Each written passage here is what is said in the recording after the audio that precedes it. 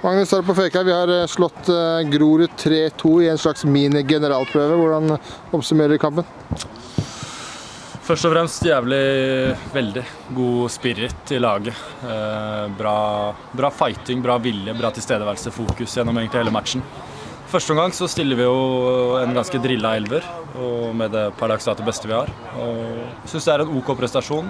Solid i det lave presset, tidvis bra i det høye presset. og får til en del med ball, men jeg skulle ønske vi klarte enda mer der. Og vise, vise kvaliteten våre enda mer mot såpass god motstand.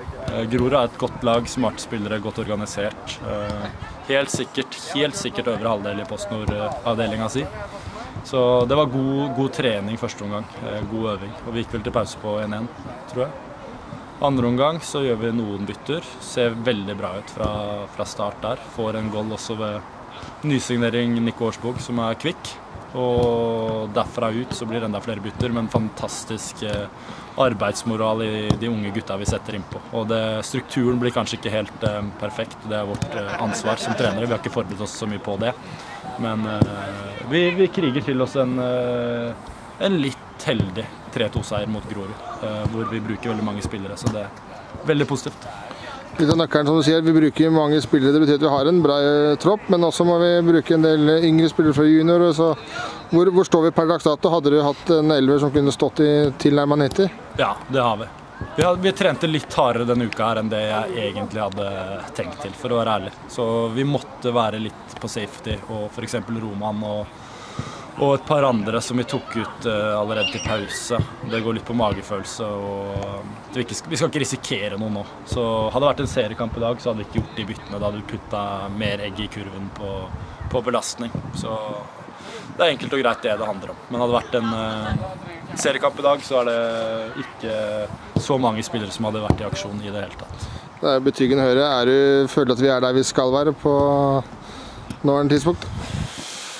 Ja og nei. Det er litt vanskelig, og, vanskelig å forutse. Eh, jeg vet at de andre lagene i avdelinga vår har eh, styrka seg veldig opp siste tida spesielt. Så det kommer til å være veldig mange lag som, eh, som faktisk tror at de skal kunne rykke opp. Jeg tipper det er fem, seks, syv lag som har, har målsetning om å, om å, rykke opp og kjempe i toppen. Så det kommer til å bli en tett og tett og jevn fight hele veien. Og jeg tror det viktigste er at vi, som jeg sa til gutta nå i garderoben, at vi har den samme tilstedeværelsen og, og, spiriten inn mot hver enkelt kamp som det vi hadde i dag. Da, da kan det her gå veldig bra. Men uh, jeg er fornøyd med den spillergruppa vi har. Jeg er fornøyd med hvordan ting ser ut. Men uh, det er viktig å ikke hvile i et sekund nå. At vi heller uh, har et riktig fokus inn mot det som skal skje.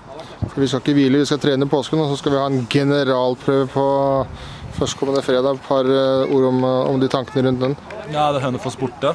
Det, nå kjører vi en litt roligere uke. Spare opp eh, litt overskudd og kjøre noen gode økter, men med mindre belastning. Og så er planen å ta den faktisk angripe den som en seriekamp også i form av bytter. At vi kommer til å heller bytte hvis vi ser behov for å endre kampbildet. Eh, for å styrke oss underveis. Og minimalt med bytter i forhold til belastning. Så har vi fortsatt noen som er litt på vei tilbake, noen som uh, ennå ikke er tilbake. Så vi har litt i bakhånd også, så det ser positivt ut. Magnus Udrasjom og Cæsar, vi gleder oss. Vi sier lykke til og gratulerer med dagens seier. Takk.